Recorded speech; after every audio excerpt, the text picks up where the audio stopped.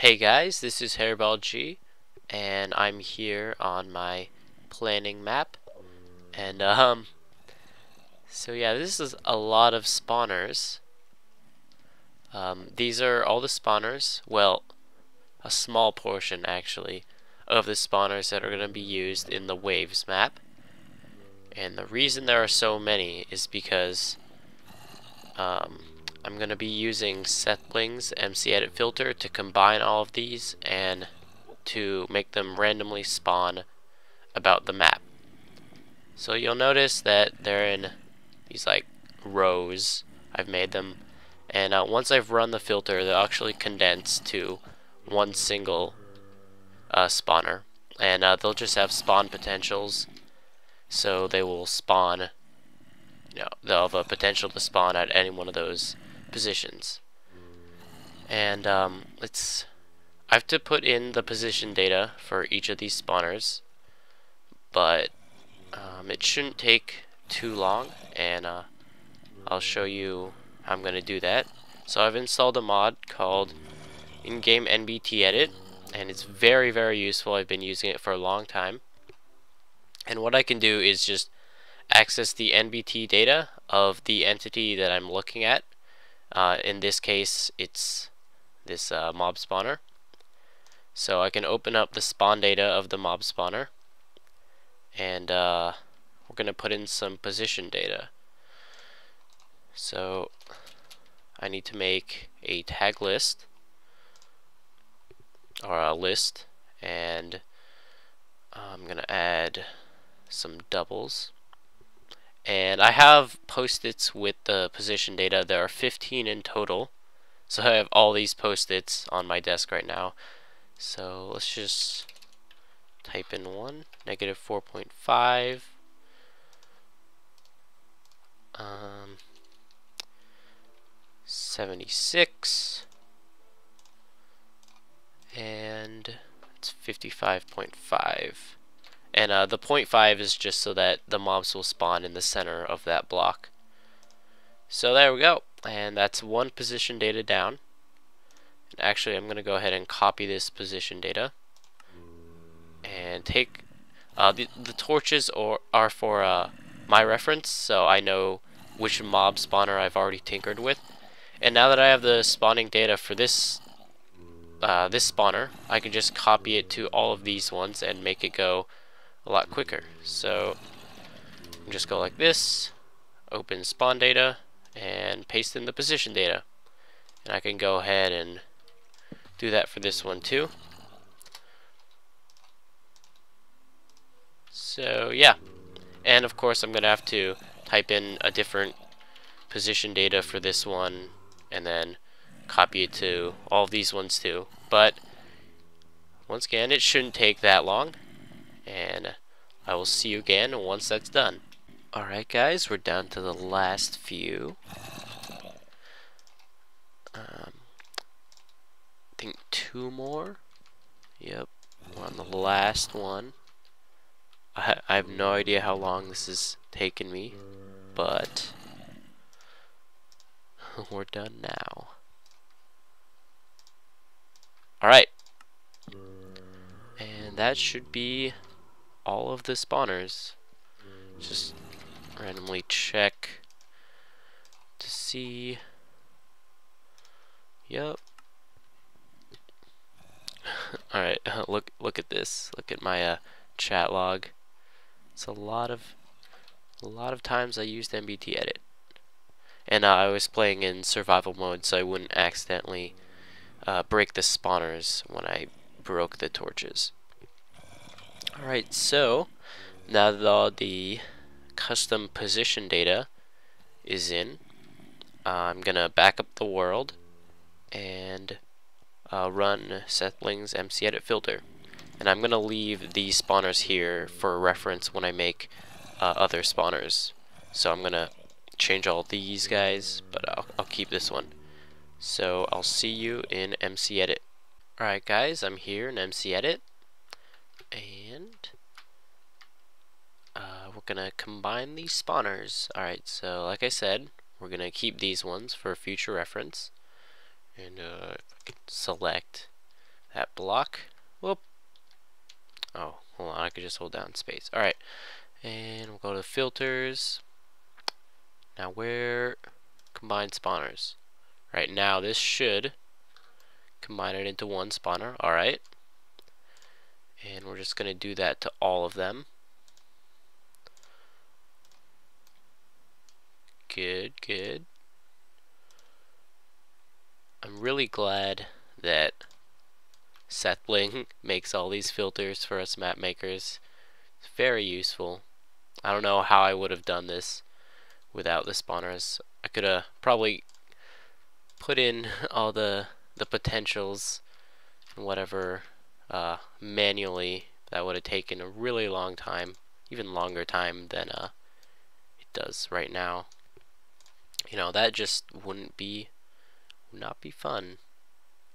Whoop. For some reason, if it's like a semi-transparent or transparent, it doesn't want to grab it. It's weird like that. Go. So, I'm planning on adding a lot more mobs, like more mob variants, and I think I'm gonna regret that because I have to do all the positioning and have to do this for each of them. But it it'll hmm I don't know it should be worth it because it'll work for smoother gameplay. You know, more variables in the game. Make it more interesting. Um, I want to talk a bit about custom mobs.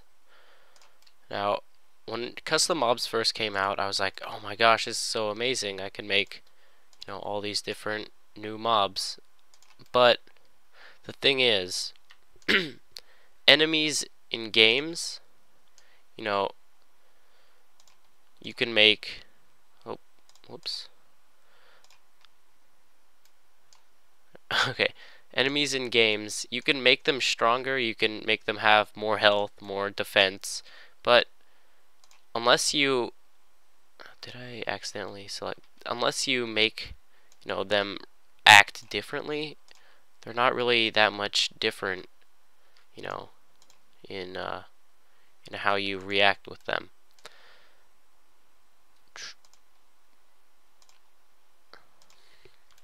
So with the uh, with custom mob data with uh, custom armor, you can make mobs with bigger health or or bigger attack, you know, but it really doesn't change how the player reacts with them. And so custom armor and weapons has become merely a like a costume for the mobs, a decoration. And so I'm trying not to add like variants in in health and damage, but I'm going to try to make them act differently. One of the ways I'm going to do that is adding jump effects or speed effects. If a mob has, you know, if a mob is faster, you're going to have to react differently to it. You can't just spam attack because it can catch up to you. And with the new skeleton and a zombie updates, in their in their behavior, it should be better. And uh, I'm also gonna add jump potions, so when they do decide to jump, it'll they'll jump really high. It'll be interesting, and uh, you know, not just it'll be not just about spamming attack because that can get kind of boring. I'll try to stay away from those kind of things where you know there's all these mobs but all you have to do is spam attack. I will do my best to make the fights interesting. Alright, uh, let's let's go back to Minecraft and see if this all worked out. There's a lot less spawners now, and it looks like it did work out. Yep, uh, let's just check this. Alright, we got our spawn potentials. Damn, that should be 15, I think. Um, here, let's check one of them.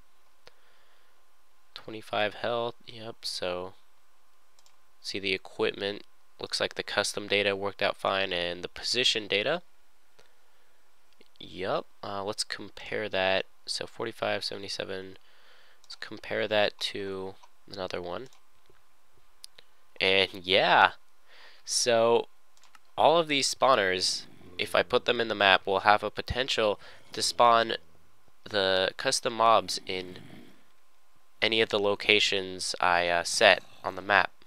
And why is this guy derping out? Why is... There's, there's spawn data too. Should I delete that? I'm not sure. Because all the other ones, it, it seemed to not keep the spawn data. Yeah, on this one, there's just the spawn potentials. Hmm. Interesting. Well, they're done. At least these guys. I'm going to have to make a lot more if I'm going to make the map interesting, like I was saying a while ago. And I think that's it for this today, and I think I'll show off some other contraptions in the map.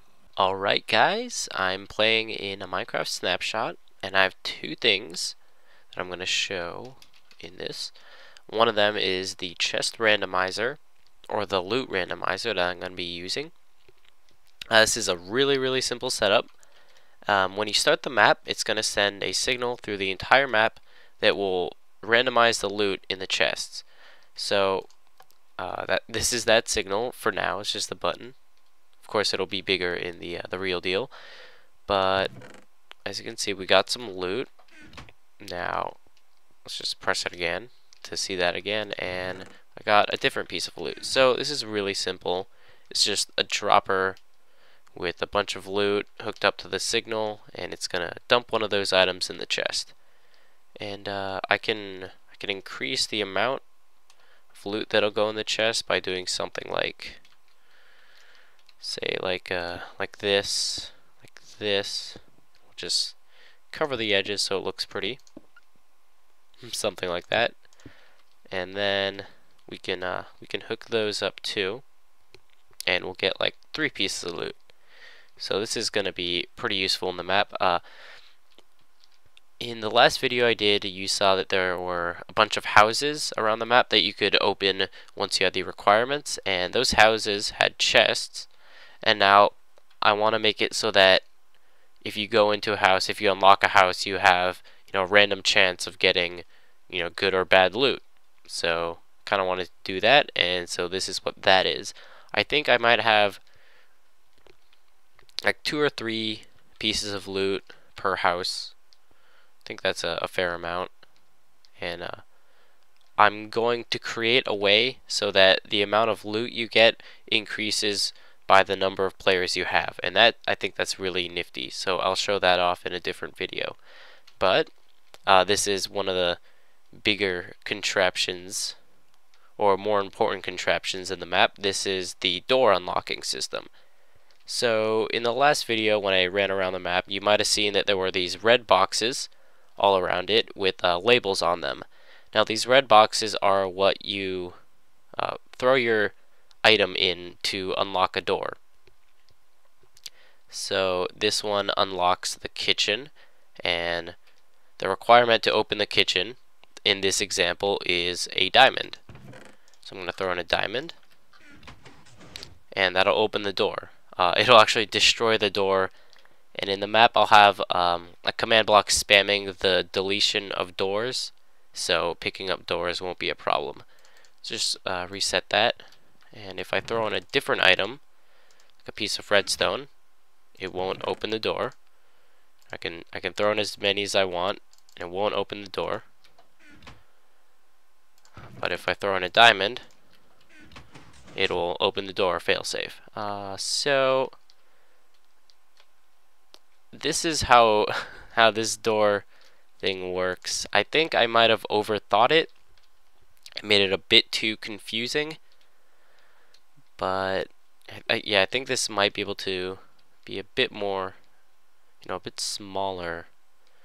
But it works, and that's all I care about. So what happens is when you put in the diamond, it'll come through these pipes. I'm sorry, uh, hoppers. They're basically item pipes.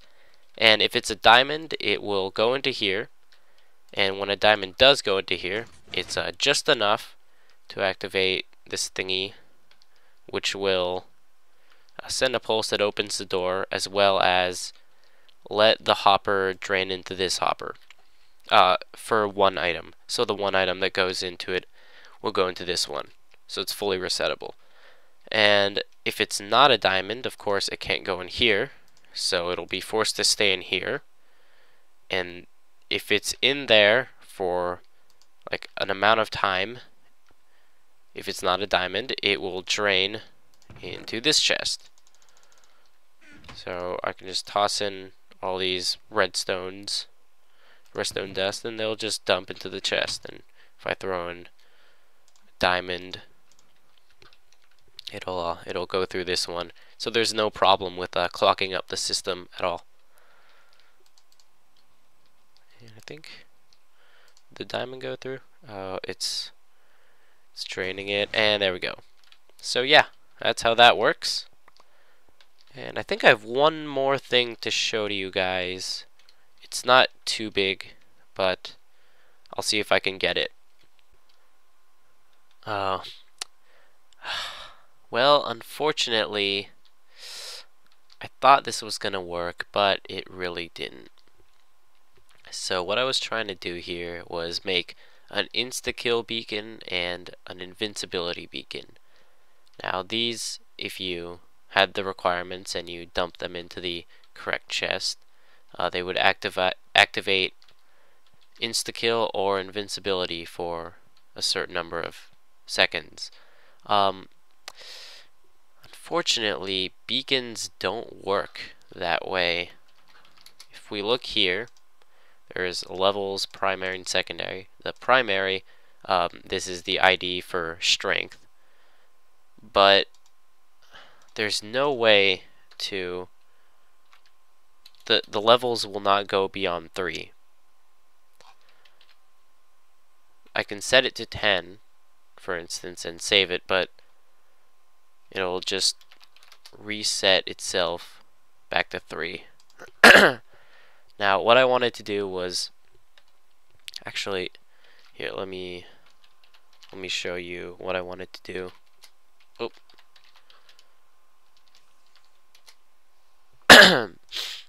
so if I have a high enough strength level, um, set the duration to just like this long. If I have, say, like a level 10 strength, that just basically becomes an insta-kill because uh, it's like two hearts of damage multiplied by 9 or 10, so it's like 20 hearts. Or, or more, I'm not sure, because I'm killing uh, zombies with health of 25. But I, what I wanted was a beacon that if I turn it on, it would give you that strength 10. But, and, and also a beacon that would give you a defense of 5, so you become invincible.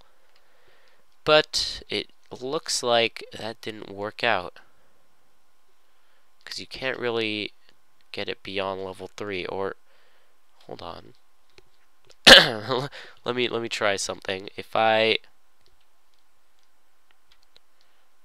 okay what do, do, do, do. if I wonder if I if, like I build a high enough thing I can change the uh, NBT data let's see if it works Oh, Oh, it's gone up to... Oh, I, I, I forgot they could go up to level 4, at least. So yeah, it goes up to level 4. Um, let's set the primary to strength. Oh. That... Strength 2, no. No, that's not what we want.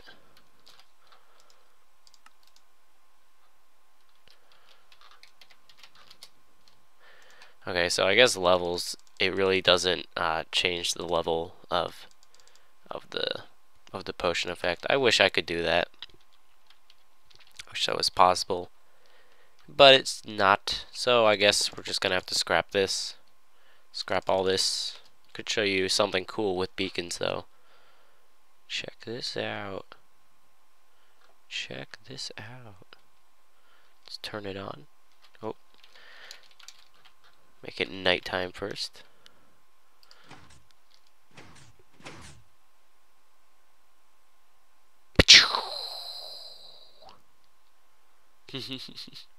I really like this. It's a it was an early addition to this structure planning map.